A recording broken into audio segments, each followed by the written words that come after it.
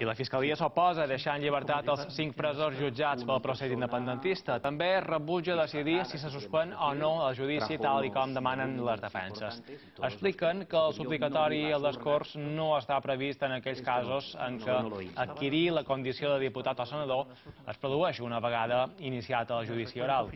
I respecte a la petició de llibertat per exigir de parlamentaris. El Ministeri Públic recorda que la presó provisional va ser acordada abans de decidir concórrer a les eleccions, o sigui que ja sabien que estarien condicionats a la mesura cautelar.